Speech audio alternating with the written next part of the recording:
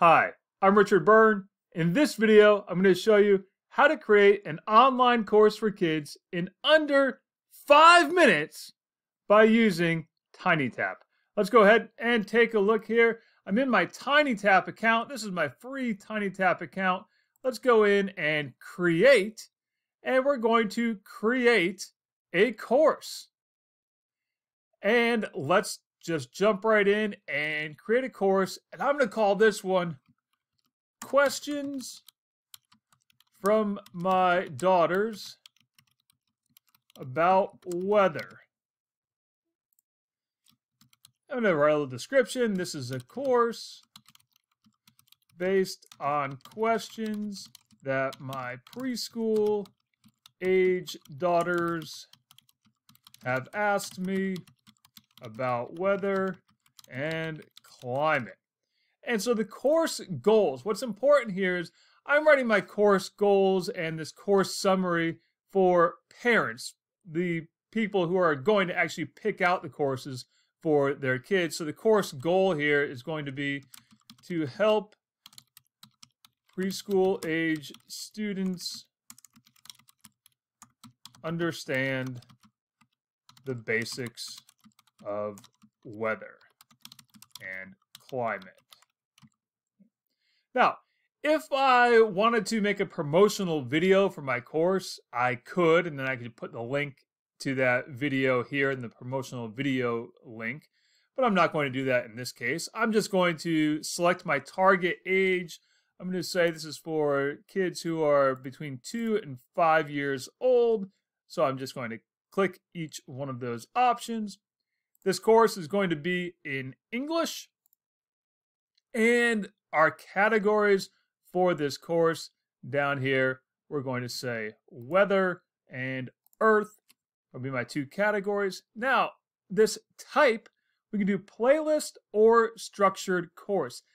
The two look the same. The only difference is a structured course forces students to complete each activity in the order in which you arrange them. Playlist lets them complete them in any order that they want. And you can make this public or private. The premium option is something I'll talk about in a video next week. I'm going to keep this one private for now.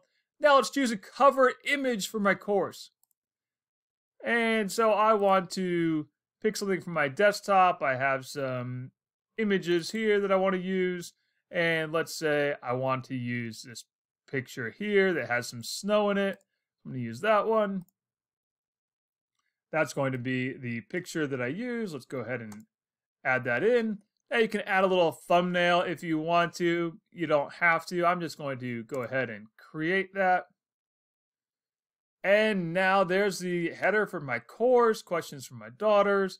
And now we need to add some content to it. So my daughters have asked me many times about snow. And so I'm just going to do a search for the word snow right here. And we'll see all kinds of games and activities that people have made and shared in TinyTap that are about snow. And so let's go ahead and pick a couple of these. I'm going to, let's say, pick this one here. And let's do another one about snow. And let's go ahead and find another that I might like to use. Now, obviously, if I was building this course to really share, I'd want to preview each one of these here, but I'm going to just go through here and pick a couple just for the sake of this demo. So let's do that one. Now, I want to, my daughters also asked me about rainbows quite a bit and how rainbows are made. So I'm going to do a search for rainbows. And we can see rainbow sound scavenger hunt, count the rainbows. We can rainbow facts to 20. Hmm, interesting. Let's add that one in. Now, if I want to start the course with rainbows instead of snow, well, I'll just drag that up to the top. Now, if I want to preview it, hit that preview button. And I can preview my course. This is how students will see it. And we can start it. And that will launch this first activity, Rainbow Facts Now 220. Rainbow Facts and they can go through and complete this activity.